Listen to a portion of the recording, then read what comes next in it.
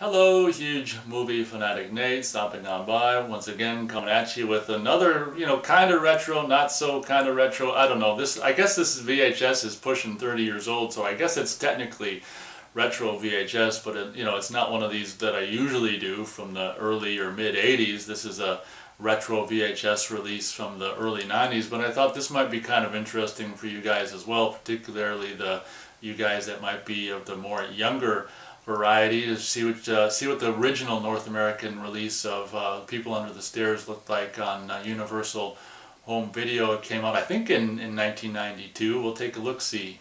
Before we do that, however, we'll take a closer look at the VHS cover like that, People Under the Stairs. North American, original North American VHS release, and I think that looks really, really cool. And looking at the top left of the back of the VHS, I was correct. We've got a copyright year of 1992, MCA Home Video Incorporated, all rights reserved, printed in USA. Taking a closer look at the front cover, in every neighborhood there is one house that adults whisper about and children cross the street to avoid. Wes Craven's The People Under the Stairs. And this artwork panning, you know, further down it is really, really pretty cool. And unfortunately, I would imagine, I think I've got the DVD release from Universal. I don't think the DVD release has this cool of cover art. It's kind of cool, just like a, a, skull coming out of the clouds here and this creepy ass house there front and center. And yeah, it's pretty cool panning further to the bottom of the front cover here, I, I just, I love what Universal Home Video was doing with the VHS in the early 90s. Just that closed caption logo was really cool and they'd have this bold, I don't know if it changed colors based on the, you know, the, the cover art or whatever, but in this case it's just this cool bold stereo surround and I don't know, everything's just really easy to see. That R is really easy to see and the MCA Universal Home Video logo on the, uh, the right corner there is, it's just, it's just I don't know, it, it's pleasing to the eye. Looking at the right spine, we've got our classic early 90s, you know, MCA Universal Home Video logo up top there and a really cool red on kind of, I don't know, dark blue, the people under the stairs. I think that looks really cool in the original font there from the original, uh, or from the early 90s. VHS Hi-Fi Dolby Surround Stereo 81136 Left spine looks exactly like the right spine, save for one crucial detail. The VHS logo that is featured on the right spine is nowhere to be found on the left spine. Top of the VHS cover looks like that. Pretty cool. Taking a closer look at the back of the VHS here, as you've already seen, we've got our you know, copyright and year information up there, barcode and VHS on the far right side, panning further down the original, you know, people under the stairs kind of font and logo there and a little bit of spiel there with uh, four images. We've got a creepy shot of some of the main people under the stair character and then the Everett McGill and Wendy Robie.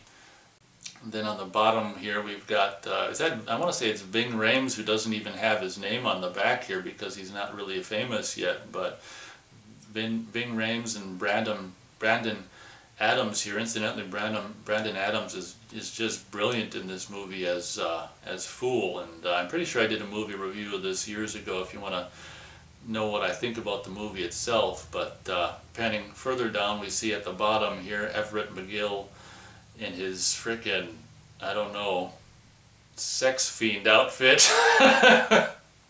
And what's interesting about Universal back in the day is I think they were one of the only home video distributors that didn't do the like the 90 minutes or 120 minutes.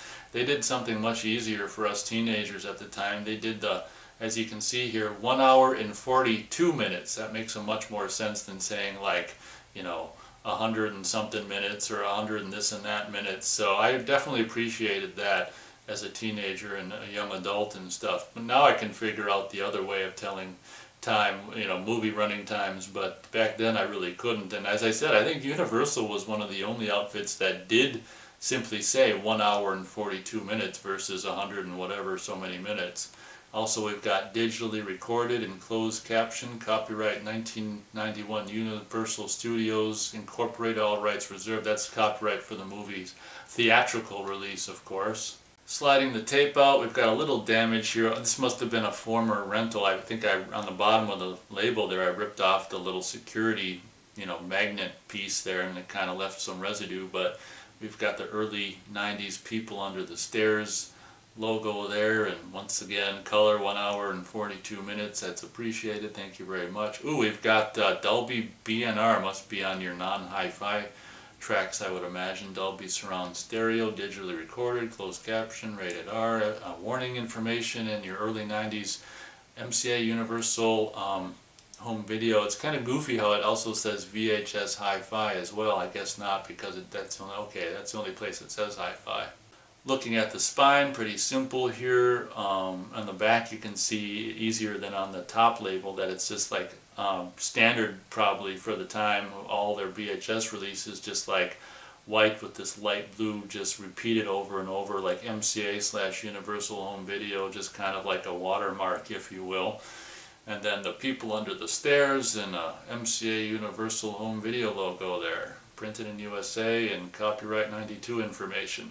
So I thought it'd be kind of cool to, to switch it up and show a VHS from uh, the early early 90s versus early 80s. I mean, shit, early 90s is still about 30 years ago, so I'd still say it, it, uh, it you know, it definitely counts as retro. Hope you guys enjoyed. Thanks a lot for watching, and as always, we'll catch you on the next video.